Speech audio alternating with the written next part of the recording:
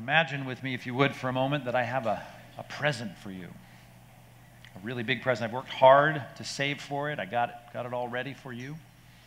What is it? Well, it's an all expense paid trip to the Four Seasons in Maui, Hawaii. I've worked hard to make sure that everything once you get there is absolutely free. All the boating is free, the golfing is free, the horseback riding is free, the tennis is free, all the food is free. Everyone's got master suites, only the best, ocean views for everyone. Um, it's awesome. I've already called, I went through the roster early this morning, called everyone's boss to secure the time off. You have time off, so everyone is, is going to be fine.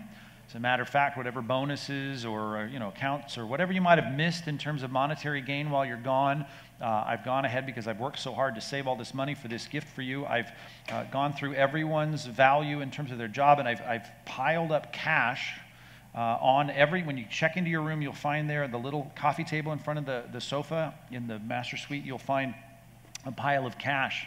Uh, that I've, I've quadrupled really what you would have missed out on here I, I got four times as much cash there for you to spend any way you'd like. Uh, I've even called all the chefs uh, to go on ahead. I want to leave this afternoon, by the way. So the chefs are already in flight to Maui, and uh, they're the America's greatest cooks and they're going to work really hard to creatively put together some of the most amazing dishes you've ever eaten. Of course, there'll be the, you know, the beef and the pork and the chicken. There'll be all of that, but they've got some amazing meals planned. You get all the fresh fruit, the papaya and the cantaloupe and, and, and pineapple, and, and it's going to be amazing. And of course, they told me they're going to put together some of the most scrumptious and, and amazingly delicious Hawaiian bread that you've ever tasted. Uh, it's going to it's going to be a great. Anybody anybody in on this? Want, want to go? Will that be good?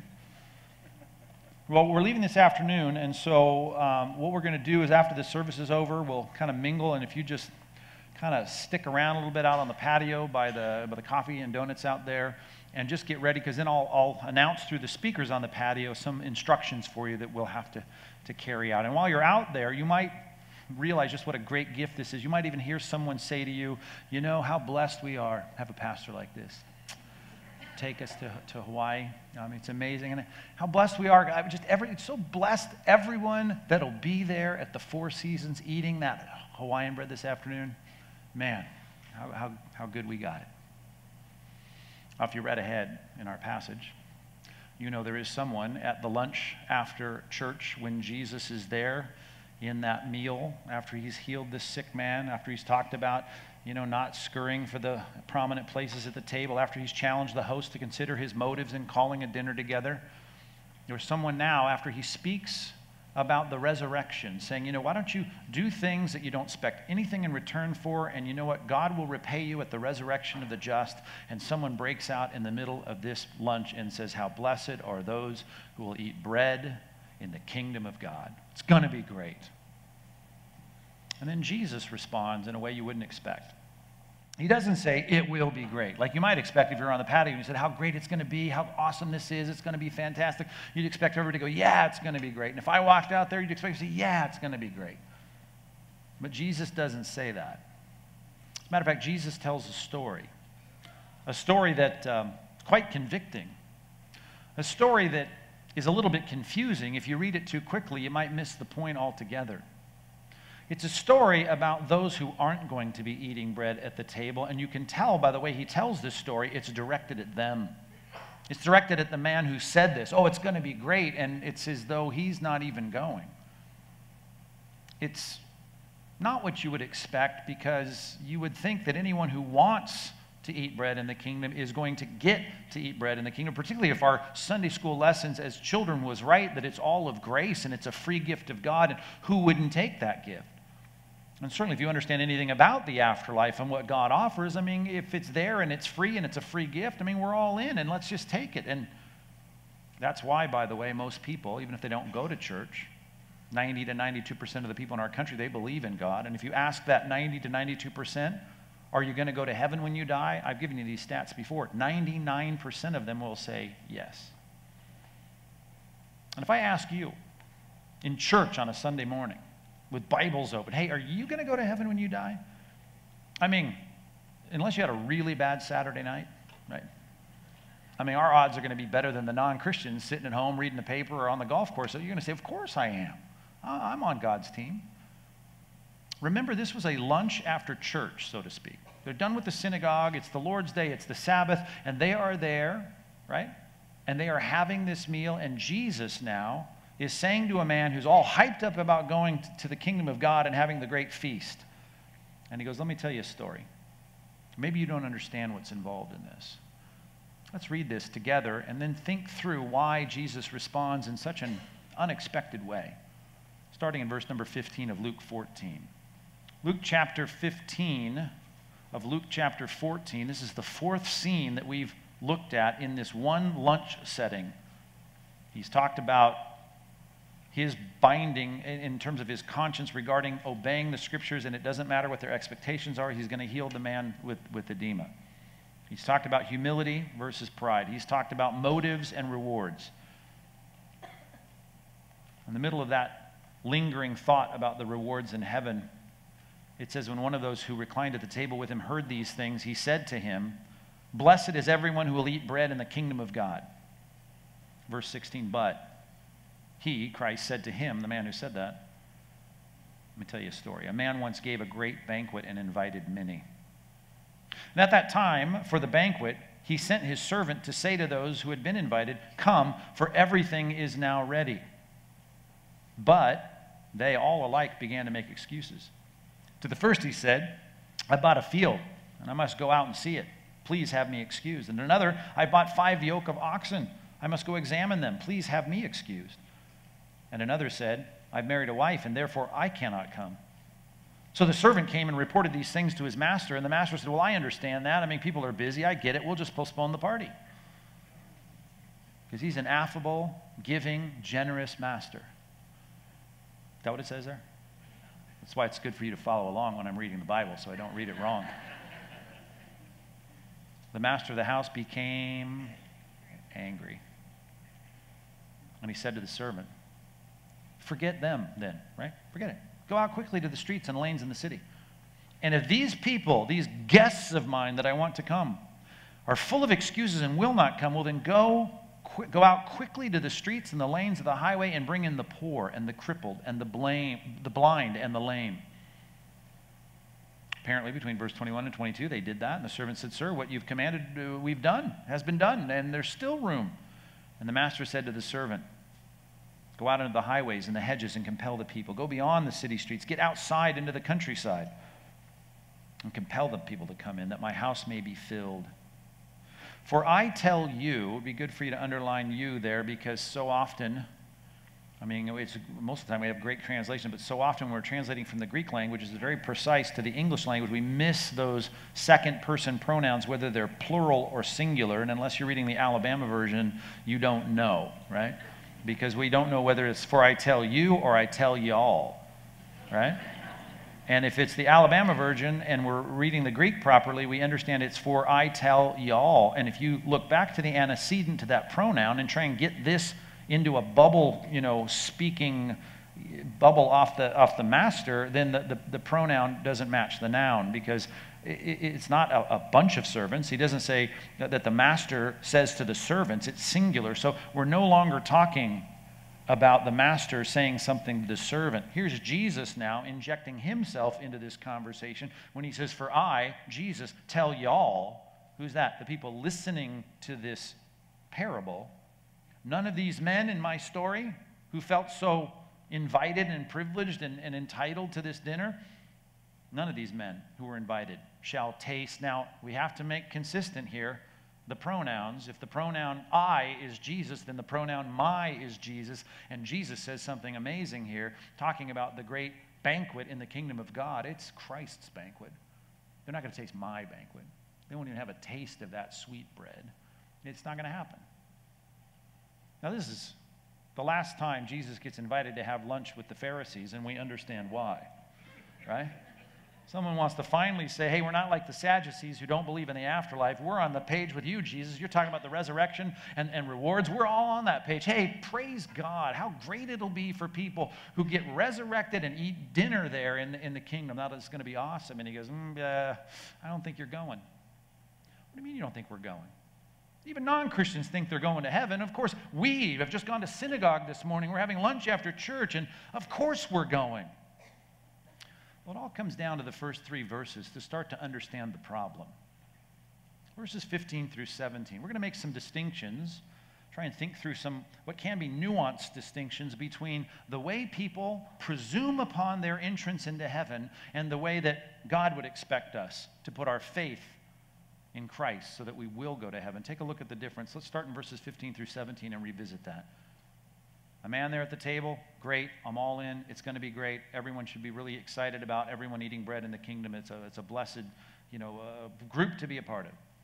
And he says, Well, let me tell you the story. There's a great banquet, invited many. Now, those who were invited were assumed that they would come. And I'm assuming, even in this story, that there's a tacit approval that they are going to come, that, that they've given some kind of head nod to this. Yeah, okay, we're, we're going to come. But at the time that the banquet was ready, Remember, I've taught you about these ancient Near Eastern banquets. The real big banquets could last for three, four, five, even ten days. We learn in the in the in the uh, intertestamental writings about these long banquets. I mean, this could be a week-long event. It's a lot like a trip to Hawaii and a big luau and a bunch of feasting. And I mean, this is something could last a long time. It takes a long time to prepare, and now it's time to have the banquet. Time has got servants are going to go out now speaking for the master, and they're going to say this. Bottom of verse 17: "Come, for everything is now ready." It's time for us to pick up your walking stick, to load up the supplies you might need on this trip and put them on your camel, your donkey, to get your wife, get some sandals on your kids, get everybody packed, get them a little snack for the traveling because we're going to go to the rich side of town and we're going to go to this big banquet. So everyone get their stuff ready because we're going to the banquet. Right then is the test as to whether or not you are willing to put your good intentions of being a part of this banquet into action because the, the, the master has sent word through the servant, it's time to go. It would be like, back to my silly story. I'm going to take you all to, to the Four Seasons in, in Maui. And, and you know, what I want you to do is to linger on the patio until you hear me on the loudspeaker say, I've got some instructions for you, and it's going to start with some instructions to lead us over to what we call 120 West, our big high school auditorium across the parking lot. And we're going to go over there, and there's some forms to fill out, and there's tables there, and I got some of our staff people ready to help you fill out these forms because we need these forms filled out. And then we're going to move from 120 West to 120 East, our junior high auditorium. We're going to move over there, and we've got some things that we need to talk about in terms of you going home and getting your suitcase packed and what we need you to take and what we don't want you to take.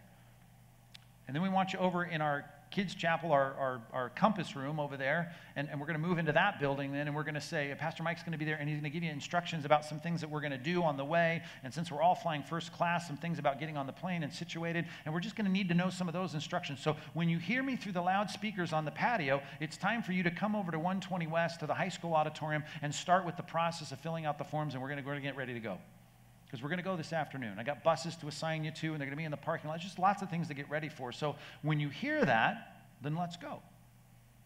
Now, we're not on the tarmac of the airport, we're still here.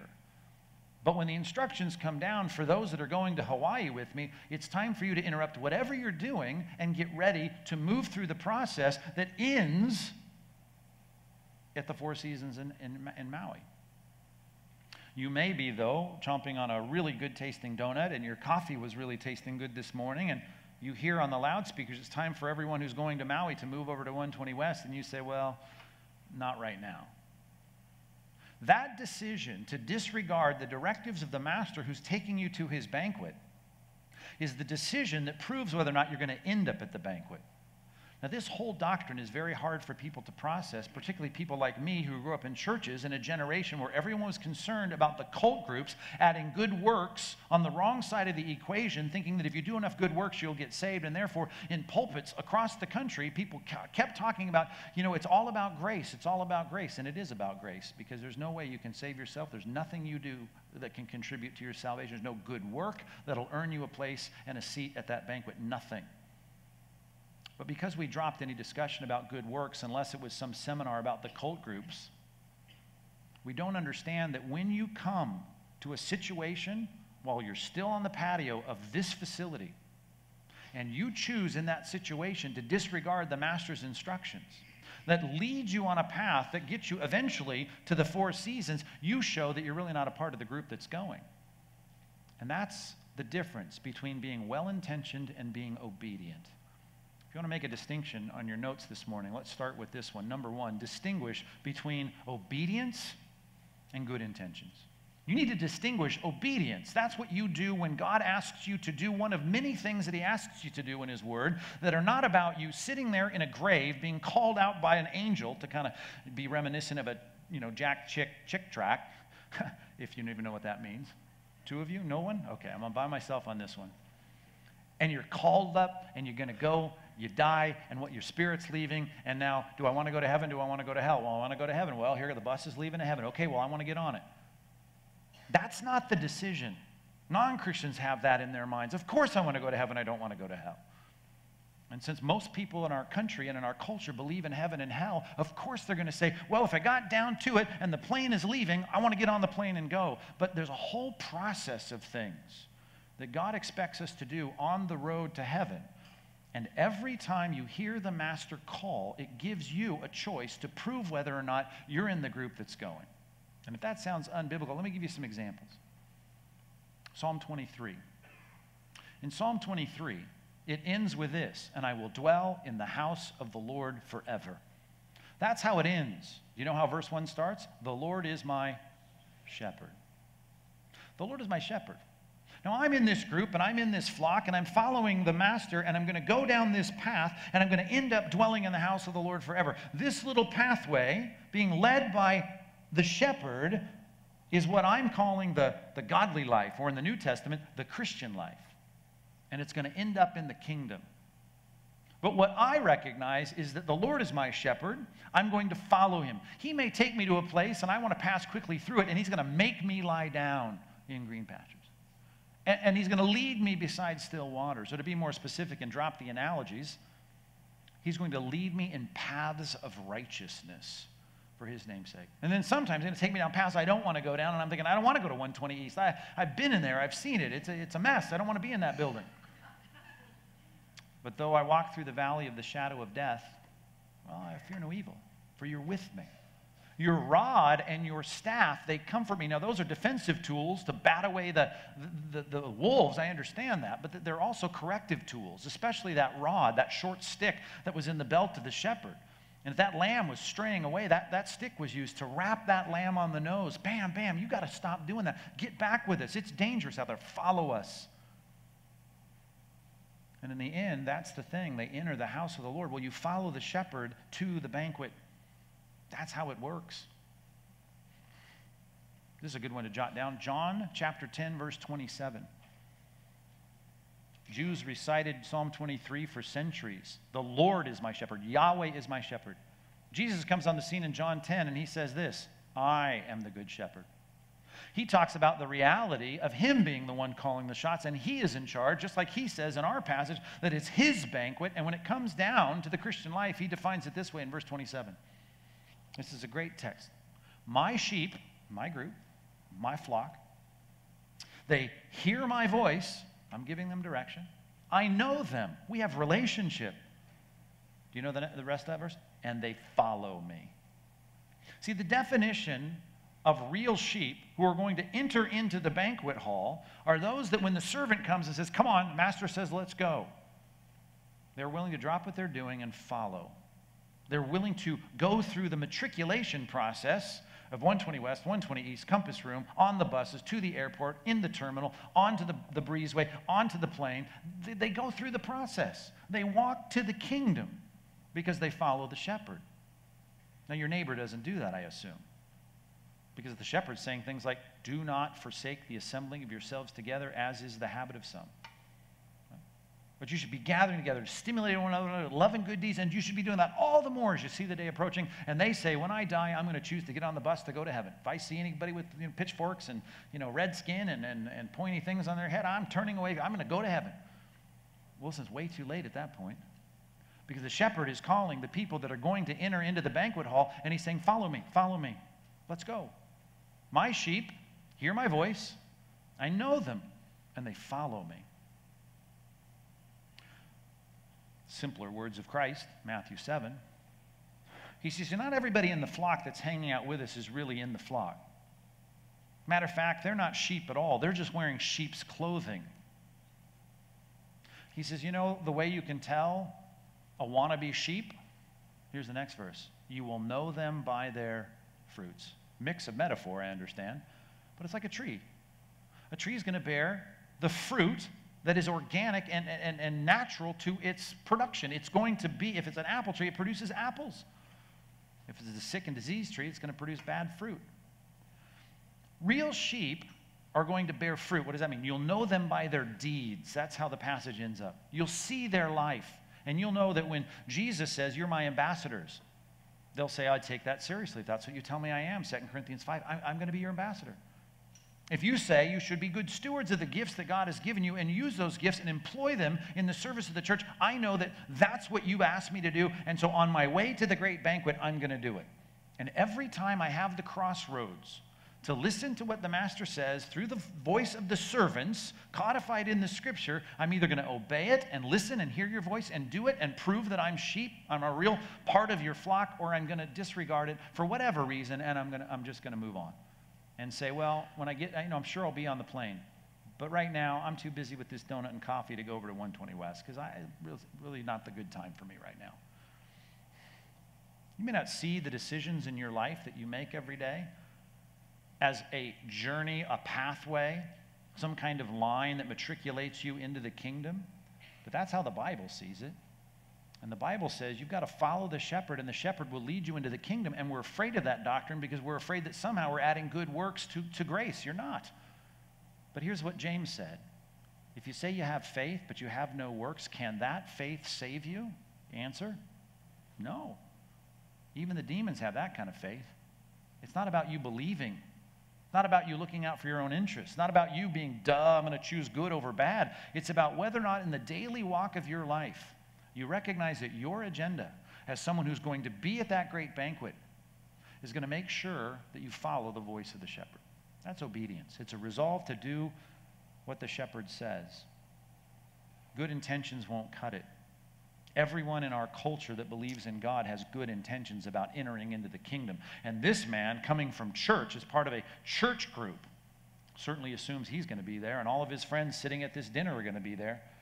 And Jesus says, You better make sure that if the servant comes and says something like, Follow me, you're ready to follow me. King Saul was an intention kind of guy. As we move to the middle of this passage in Luke chapter 14, you start to see all these excuses in verses 18 through 20. Time to go. Get your cane, get your walking stick, get your family together, get sandals on your kids. It's time to go across town to the, the big mansion and go to this dinner. But they started to make excuses. I bought a field. I must go out and see it. Please have me excused. I, I bought five yoke of oxen. I got to examine them. Please have me excused. I have a, a, a new wife here, a newlywed. I, I, I can't come. Excuses. I think of excuses. I can't help but think of King Saul. When it comes to King Saul, I recognize that excuses are simply the symptom of a problem. And so, in this text, when I hear preachers preach on this about excuses, that's really not the point of this passage. It's about that last line of verse 17 when the servant says, with the authority of the master, it's time to go here. Are you willing to drop what you're doing and go there? Which is why the next section we're going to look at, starting in, verse 25, is going to make this super clear all the way to the end of the chapter. We need to realize that it's time for us to obey and not try to wrap our disobedience as the reason we can't do exactly what God asked us to do because we've got a lot of other things going on in our lives. I understand we all have a lot of things going on in our lives. We have a lot of desires, we have a lot of interests, as did Saul. Saul, told to go out and kill the Amalekites, who were the regional bad boys, really bad. They were as bad as the Canaanites, really, from God's perspective, who were sacrificing their children to Molech and all the ancient gods in, in, in Canaan. Here was Saul told to do what Joshua was told to do, and that is use his military army to go be an instrument and an arm of God's justice and wipe out these horrific people. Go kill the Amalekites and take all their stuff, just like Joshua, and, and devote it to destruction. And that means when you go into the towns and the villages, nothing are you to keep. I know it'll be tempting. Just like the Canaanites were very rich, it was tempting as they went into the Beverly Hills of the ancient world and they recognize these people are to be judged. We're there as an army to judge them on behalf of God. All the stuff that they've got is to be destroyed. So when I walk into a big mansion in Beverly Hills and I'm saying it's time for this to be devoted to destruction, if I see a nice Rolex on the counter, it doesn't matter. I got to destroy it. If I see the key sitting next to it with a little Ferrari emblem on it, and I recognize there was a nice red Ferrari in the, in the driveway when I walked in, you got to leave it and destroy it. It was hard for the riffraff in Israel, like Achan. Do you know the Bible story? Who said, Well, I got to have some of that stuff. So he goes out and hides it under his tent. Now, look at the same exact scenario going on in 1 Samuel with Saul and the Amalekites. He's the king. He's told to go wipe out the Amalekites, and he comes back and he's got the trophy, which is the king, and, and he's going to keep him and humiliate him just for his own sake of importance and superiority in the ancient Near East. And then he's got all the Ferraris and Porsches and, and you know, all these beautiful, you know, very expensive things that came all the bounty of the Amalekites behind him as he's coming back from battle. Now, he was told to destroy everything. And Samuel, the prophet, shows up and says, Did you do what God asked you to do? And of course, his answer was, Yeah. And then that classic line, he says, Then what's this bleating of sheep that I hear in my ears? I hear the roar of Italian sports cars. Why are they in the parade here? I don't understand. And he thinks on his feet. And really, the passage in 1 Samuel is not about excuses, just like this passage is not about excuses. But he had one. What was it? He's going to sacrifice him. We were just going to drive. We were just going to drive him back, and we were just going to put him on an altar and burn him to the Lord. You know, just you know. Then some of it's going to go to help the worship center, and kind of it'll help you, holy guys, because it'll go in the offering. It'll just. I mean, I was just trying to do something nice for the Lord. Now, do you believe that for a minute? I don't. And even though it was not true, just to play along with this, here's Samuel, by the inspiration of the Holy Spirit, giving us a classic line. He said, even if that was true, to obey is better than sacrifice. Be better for you to do what God said, regardless of your stupid excuses about how, you know, somehow I just realized it's more important for me to keep talking and having this conversation. It seems to be a good conversation with my donut and, and my coffee, and, and I don't think I should leave this. This is kind of important. I know I heard through the speakers it's time to move on to 120 West, but right now I just don't think it makes sense. And I really just want I want to make sure that Pastor Mike is happy by the way I, I kind of deal kindly with the people on the patio, so I can't do what he says. Excuses isn't the problem. Excuses is the symptom of the problem. And the symptom is you love what you're doing more than you love the obedience to the voice of the shepherd. That's what's going on here. And here, the host has said it's time to go, and you're saying, nah, I got stuff to do. Now, if you look at this passage, three excuses I mean, through the ages, people try to make a lot of the distinctions between those, but I don't think that's the important part of this passage. Yeah, you got a field, you got to buy fields. If you're investing in a yoke of oxen, you need stuff to do. your work in an agrarian society, you get married, of course, domestic priorities, that's important. But what's the point? Whatever it is in this world that you're involved in, it cannot be such an involvement that when the master says it's time to move, it's time to go, it's time to do X, Y, or Z, that you say, well, I can't because of all these things. You've got to have a certain detachment from your involvement in all those things. Now, there has been a segment of the church, a subset of the church, that's tried to be so detached from the things of this world that they go and sell everything they have. They put on robes, they shave their heads, they go up to the top of mountains, they build monasteries, and they try and sit there and wait to the return of Christ. That, by the way, is not an option for us if we're going to obedient if we're going to be obedient to the Scripture. So that's not the kind of detachment we're talking about. So maybe back in junior high, back in the day, when they used to tell us, you know, we're in the world, but we're not of the world, maybe we're onto something there. I mean, you got fields to buy, you got oxen that you need to work the fields, and you got, you got a wife you got to you got to care for, and I understand all that's real, but you can't let any of those things be so entrenched in your life that when it's time for you to obey the master, that somehow you make an excuse. Because everyone wants to go to heaven when they die. That's not the point. The point is it's time to matriculate through this building, then onto that building, then I want you to do this, and then we'll make our way there, but just obey me. So don't be too busy for that. Matter of fact, that's more than busy. That's a, preoccupi- uh, a preoccupation with the things of the world. Let's write it down that way. That'll be our second nuanced distinction. Let's distinguish busy, which I think all of us are going to be, unless you're going to be a monk and you shouldn't be, from preoccupation. Distinguish those two. Are you busy? Of course you are. You're here. You're living in South Orange County. You got jobs, you got mortgages to pay, you got business, you know, dealings, you got clients, you got a family, you got kids, you got little league, you got soccer. You're busy. I'm busy. We're all busy. That's great. But you cannot be so preoccupied with the busyness of this life that there are some kind of roots that these things have in your life that make you someone that when the master says it's time to move over to 120 West, you go, mm, I'm kind of stuck here with this. I really can't right now. One passage I'd like you to look at in this regard 1 Corinthians chapter 7. An oft misunderstood text, but let's try to make sense of it here. 1 Corinthians chapter 7 that may help us. Let's start in verse 29. We'll read through verse 31.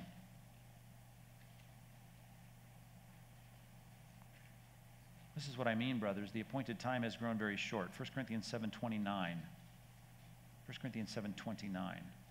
This is what I mean, brothers. The appointed time has grown very short. From now on, let those who have wives live as though they had none. There was no amens or anything after the reading of that verse. But it's an uncomfortable verse to read, is it not? Well, I'm glad it's not a period there. There's a comma. So, whatever it means, I'm going to hopefully make sense of it if I keep reading. Because that doesn't sound like very good Christian advice. You don't hear that on, you know, Focus on the Family or Family Christian Radio, right? So, what does that mean? Verse 30. And those who mourn as though they were not mourning, and those who rejoice as though they were not rejoicing, and those who buy as though they had no goods. Now, note the context here before we try to make sense of this. Paul is saying, you know, it would be good for you if you are gifted to be single to remain single because domestic life will sure complicate your life and it can even be a distraction to you having the pure and undefiled devotion to Christ, able to nimbly move whenever he calls and do whatever he wants. Now, here's the thing you may not be gifted to be single, and if you can't be content as he starts the passage in chapter 1, well, then great, go get married. But when you're married, be careful. And here's the balance if you get a wife, you get those kids, you got to live as though you don't have them. What are you talking about? Well, it's like when you're mourning. There's something that makes you really sad. You had a really bad week. It bums you out. Now, that's true, and there's something there that should, clearly you're going to respond as a human being, and you're going to be sad, but you're not going to be sad like the other people are sad, like this is, this is it. Sadness, ultimate sadness.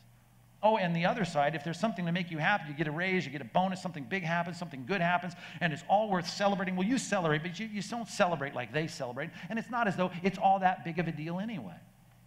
And then the goods you have to buy. I mean, sometimes you buy some goods and you realize you have to get those goods and you deal with this world. But you know, it's not as though you even got the goods, and it's not a big deal.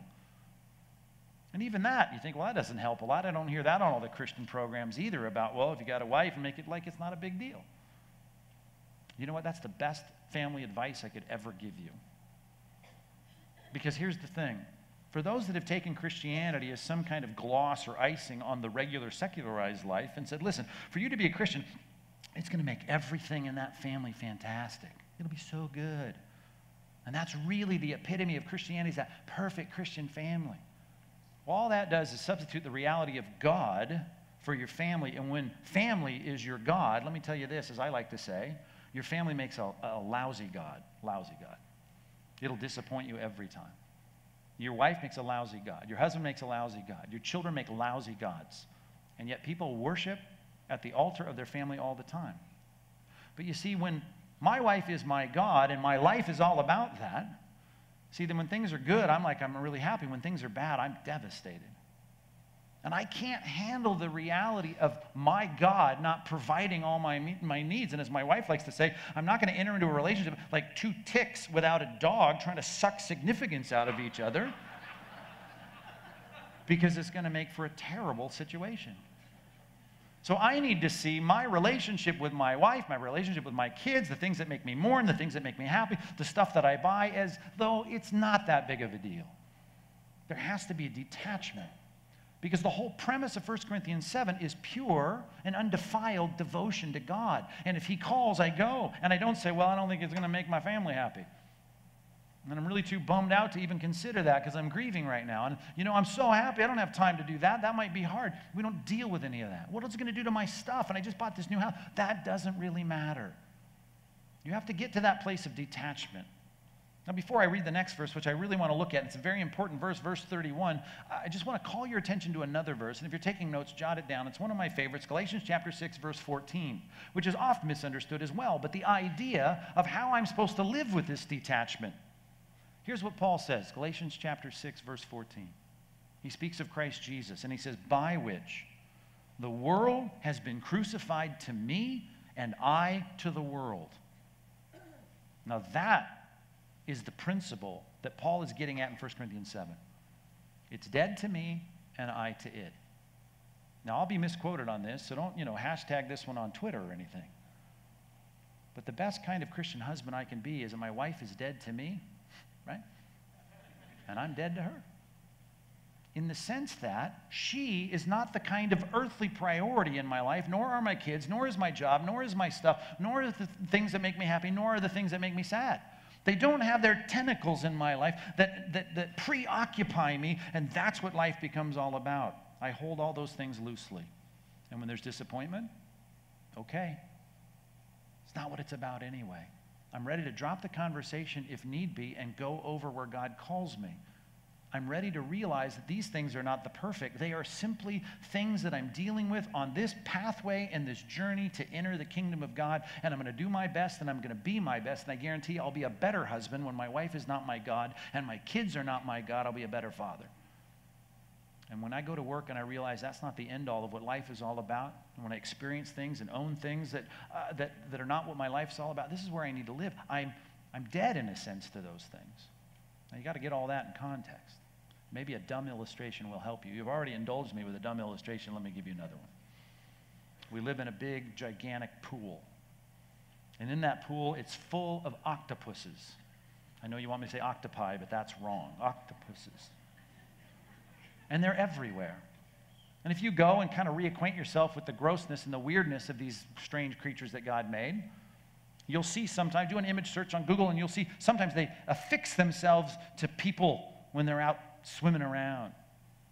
And people have taken pictures of this. And I, am kind of grossed out by that. These octop- octopuses, I want to say octopi, octopuses, come in all different shapes and sizes. And they're gross because God put these weird suction cups on the bottom of their tentacles, and then they can come around you and go you know, and they glom onto you. Now, in my dumb illustration, we live in this big Olympic sized pool and we're all in here. And you say, Well, I want to I wanna be away from all these. Well, you can't be away from them because commerce underwater here all really it functions on the, the exchange and possession of, of octopuses, so you can't get around it. Matter of fact, if you want to do anything down there under the water, you're going to have to have some of these. You're going to have to exchange some of these, and you're going to get paid in some of these, and you're going to have them everywhere. Now, here's another weird thing about my fanciful, you know, fanciful illustration. Doesn't matter if they're dead or alive, so it would be better for you if you don't want the all over you. Be good for you to kind of detach these from you. You got to have them in your life, but they're not going to glom onto you by killing them. So take the dagger out of your little scuba suit and, and crucify these and make these octopi, octopuses, dead to you, and you'll be dead to them. And you still have to have them, and you'll have to exchange them, and you'll have to get them, and you have to live in here. But every time you come encounter with these, you put it on the altar and you drive the knife. And you say, okay, new house, on the altar, drive the knife. New family, on the altar, drive the knife. New child, on the altar, drive the knife. See, Abraham started to become a good father when he no longer idolized Isaac. See what I'm saying? I start to become the right employee when I don't idolize my job. I become the right husband when I don't idolize my wife. These are the kinds of things we've got to see about in my life being busy about the world's things, and I've got to be, but I'm really not preoccupied with them. Now, verse 31, 1 Corinthians 7. He summarizes in one phrase. Those who deal with the world, now that goes over family life, uh, uh over mourning and grieving, uh, and, and rejoicing and being happy and having goods. Okay, we're dealing with the things of the world. Now, this translates a phrase, or this phrase translates one Greek word, as though they had no dealings with it. I guess there's the negation, may. So in Greek, you got no. And then you got this one word, Okay? Now, I, I, don't want to give you Greek lessons unless there's something to be gained from them. So here's something that I think you've been around enough, some of you, to know that that little preposition kata, whenever kata becomes a part of a compound Greek word, it, it's usually an intensifier, down. Kata is down, to, to intensify what comes next. Now, the next part of that compound word that translates that phrase, though they had no as an added word, dealings with it, is the word kraomai. Kraomai. Kraomai is the word for using something. Using something. So kraomai, using something, which comes, by the way, that's a cognate of the core word, the, the lexical word, the, the, the central word, the key word. And the key word is the word kraia, and that's the word for need. Okay? Need, and when I need something, kraia, when I use something, kraomai, and then there's this word to describe what I shouldn't be like, and that is ka'a, kata kraomai, which means I shouldn't have this intensive use of things like they're what I really need. Okay? I don't really need it. I, I guess I need it, but I don't kata need it. See? Now, does this sound like a real simplified way Jesus put it? He said, You know, the pagans, when it comes to all the stuff that you're tempted to worry about, they chase after all these things. I'm quoting now in, in Matthew 6. They run after them, I think the ESV puts it. And the Lord knows that you, right? There it is, kraomai them. Not kata kraomai. He knows you need them. But you, why don't you worry about getting to the kingdom? Seek first the kingdom and its righteousness. And, and then all these other things you need, I'll take care of that. There'll be food on the plane. Don't worry about it. You'll get taken care of. Don't sit out there saying you have to have those donuts right now. It's going to be taken care of. You seek first the kingdom, which means you're responding to the righteous commands of the master through the servant, the pages of Scripture, and, and you're, willing, you're willing to follow because you're not preoccupied with the needs. And those who deal with the things of the world, which is everybody, everyone has to, as though they didn't have to have it, as though they weren't, I like the way other translations put it, they're not engrossed in them. I think the NIV put it that way. They're not engrossed in them. They don't, don't have that kata kraomai, I gotta have it. I want the tentacles of the stuff in my life not to bog me down. I want to throw off every encumbrance and the sin that so easily entangles me, which means that I can't be a materialistic. I can't be running the corporate ladder, and that's what my life's all about. I can't be Mr. Family Man, and this is what it's all about. Got to make every little league game, and I got to be. It's not about all that. I'm not asking you to be a bad father. I'm asking you to be a good father. I'm not asking you to be a bad employee. I'm asking you to be a good employee. But it comes when the world doesn't entangle itself in our hearts because what's far more important is that you don't offend the Spirit of grace. I say that because James chapter 4 says it's so easy to do. The Bible is willing to call you and I adulteresses.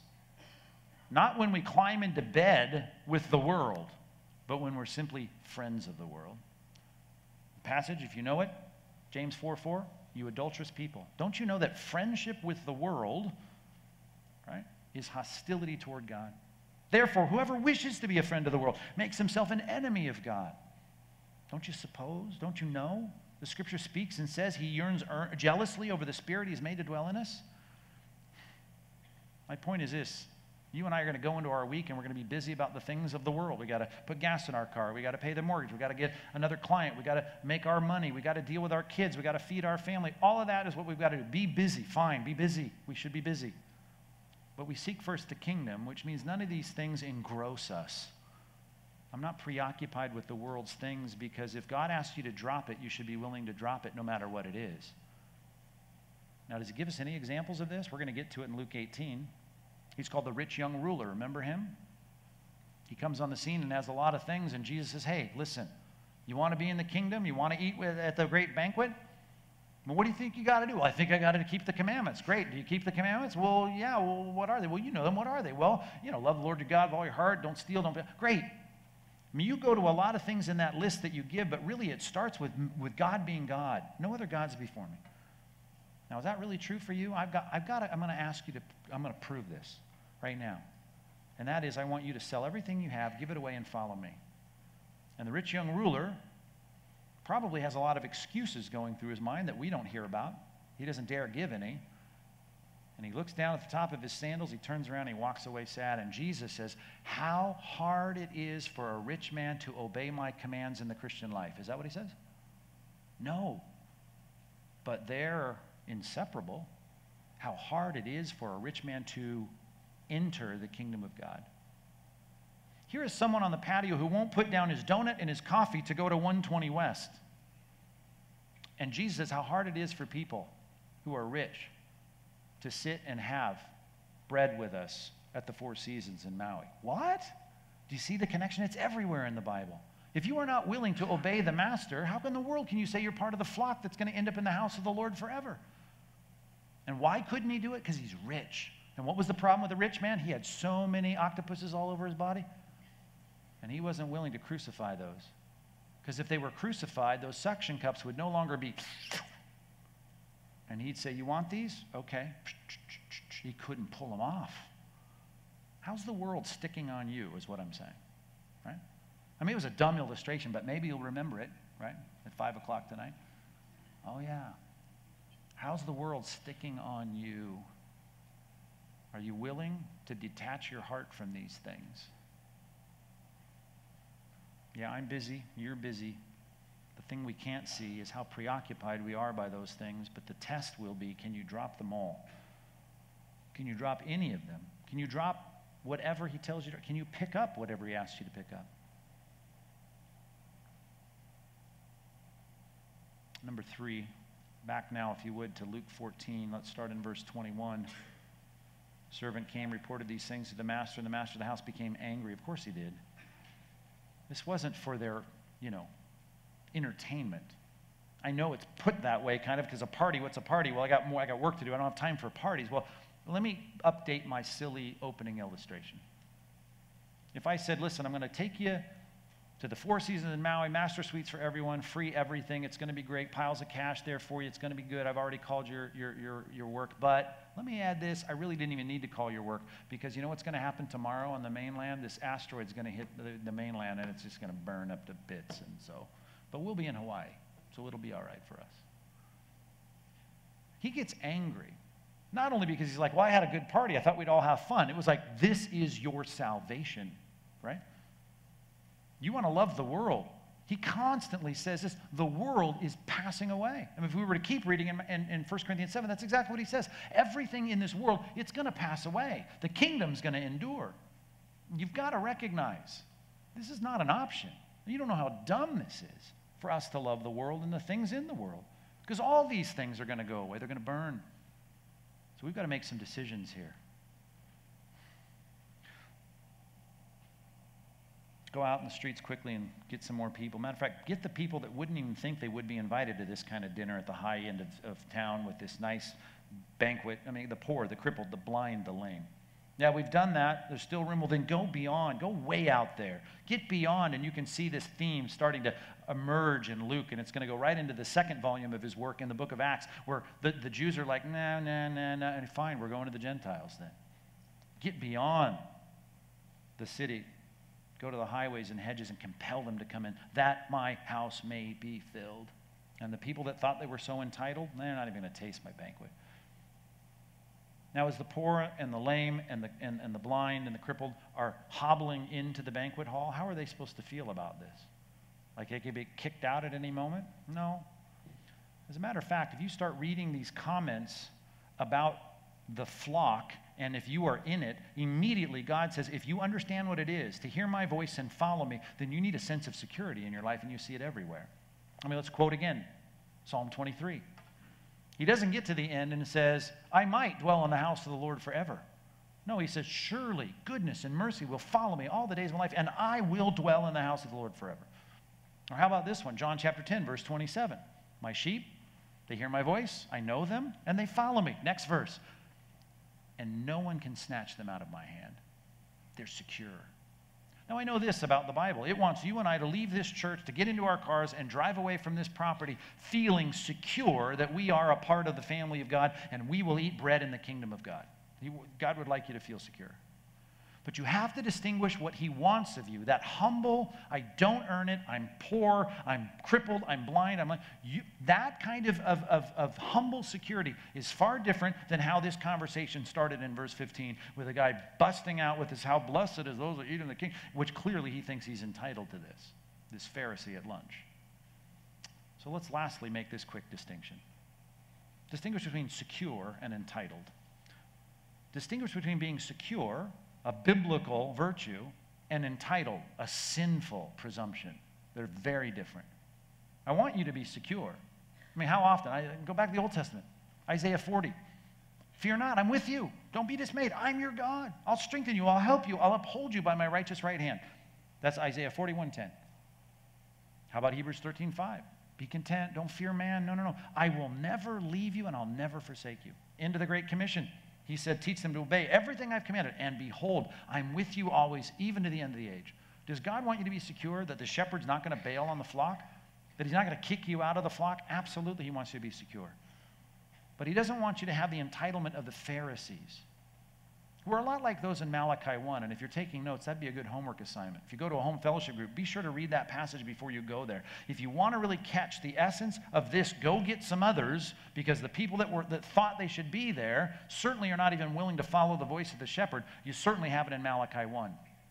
Here they are, after the Babylonian exile. They've built the temple, they're back to practicing the, the, the ceremonies and sacrifices, and they are sitting there feeling awfully entitled to their favor from God. And it showed by this they brought the second best to God. They weren't going to give their best, as the law had said. They were going to bring crippled and blind uh, gifts. They brought their worst to God. And God said, Why don't you uh, try and give that to your governor and see if he'd like you? And after all of that discussion and revealing discussion about the fact that you don't honor me, a father gets honor from his son, a master gets honor from his servant, you don't even honor me, and I'm God. He says this, you know, my name will be held in high regard. It will be feared. It will be revered among the nations. Pure sacrifices will be offered. Incense, prayer, sincerity will come from worshipers from the east, from the west. My name is going to be, going to be honored. In other words, if you, if you don't do it, if you don't humbly come to me, I'll get other people because he's going to fill his banquet hall. There will not be an empty room at the Four Seasons in Maui. Every suite will be filled. And if we sit here presuming upon the grace of God, proving that we presume upon the grace of God by not being willing to do something that He asks us to do, whether it's as simple as going to church every week, or serving in the church, or doing whatever it might be as an ambassador in your workplace for Christ, then He'll get somebody who will. And that's the point of this last section, which of course sucks all the room, all the, the air out of the room. And, and, and he's like, Well, listen, we having lunch next week, but you're, you're not coming. You don't think we're, we're going to be there. Jesus didn't give this real stinging rebuke to the dinner guests after church because he wanted to be mean to them, but because he loved them. He only tells the truth because he wants people to see the truth. And as he does in John 9, if you would just see the problem in your life, then I give you the gift of sight. But you walk around saying you see, and because you say you see, you don't recognize your blindness, you're, you're going to stay, you're going to stay blind. Don't be entitled, presuming that you deserve it, that you're qualified. That's why the guest list shifts to the poor and the crippled, the blind, the lame, and by implication in verse 23, the Gentiles, the heathen, the barbarian, the Scythian, the slaves. They're all being rounded up for this banquet.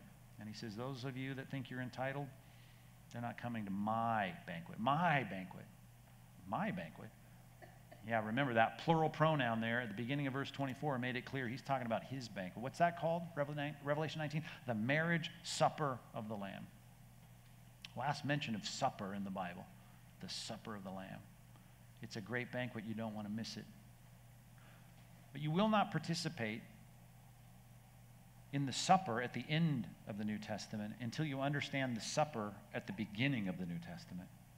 We call it the Lord's Supper. It's the reason that poor and crippled and blind and lame people who have nothing to offer God get a seat at the table because Christ earned the seat at the table for you. I just want to wrap up our time this morning by having you contemplate the first supper in the New Testament, right? Which we call the Last Supper, which comes at the beginning of the ministry of Christ, or the end of the ministry of Christ, the beginning of God's work in the New Testament to get you and I to think about what it takes to be qualified, and that wipes away any sense of entitlement. I want to eat at the marriage supper of the Lamb because I got qualified, because I understand the realities beneath the Lord's Supper. So the usher is going to come down and serve this meal. A couple things that are critically important. You might have grown up in a situation where you think these turn magically into some other kind of uh, element. This is not turning into the body of Christ, it's not turning into the blood of Christ. And I'll prove it to you. When Jesus held up the cup and he said, This is the cup of my blood, the, my, the covenant in my blood, he then turned around and said this. He said, I will not drink again of this fruit of the vine until I drink it afresh, anew, with you in the kingdom. So he says, This supper I'm having here, the Lord's Supper, is going to be something that I refrain from any kind of of drinking of the fruit of the vine until I do it at the, at the marriage supper of the Lamb. Now, what is it? Fruit of the vine. Secondly, it's a time for us to contemplate our relationship with God, and if you don't have one, you shouldn't partake. So if you are a Christian, take these elements and hang on to them. We'll take them together in just a minute, but I want you to spend time thinking through your own life. Because here's the description I want us all to say this is a reasonable description of my life. The Lord is my shepherd, right? I'm going to dwell in the house of the Lord forever. How do I prove that? The evidence of faith that's real is a faith that produces good works. What does that look like? My sheep, they hear my voice. I know them. I have a relationship with them. Right? And they follow me. Let's pray. God, if we have the experience of ingesting these elements as symbols of how much we want to be allied and associated with the benefits of Christ's death, we pray by faith that you would make us the kinds of people that see sin the way that you do, that we'd recognize the high hypocrisy of saying that we are followers of Christ, but when it comes to following Christ, we see it as optional. God, help us to be more like what we see in the scripture of those who know what it is, as hard as it might be, to leave behind things to follow you and do that with a willingness, as the Bible says, to have your commands not be burdensome to us. Peter, watching the rich young ruler walk away, certainly felt superior at that point, right? We've left everything to follow you. And Instead of a rebuke from Christ, you have us understand from your son's response that there's nothing we can give up.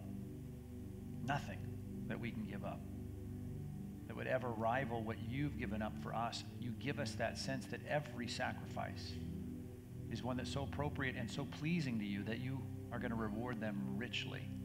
We can't even give a cup of cold water to someone in your name without you saying, well, I'm going to reward that. It's all going to be rewarded. So, God, help us to hold the things of this world loosely. I know that'll make us better, everything employees, parents, spouses. But God, when we fail this week, and I pray it'd be less than last week, I pray we'd be quick to come back to this moment in our week when we started our week celebrating the Lord's Supper. May it bring us great comfort and instill that humble security in our hearts, knowing that we are going to be participants in the marriage supper of the Lamb. God, dismiss us after this song with a real sense of hope and joy that we don't just say it like that man in this story hey, it, hey it's going to be great, but we know we're participants because of what we've learned this morning from your word. In Jesus' name,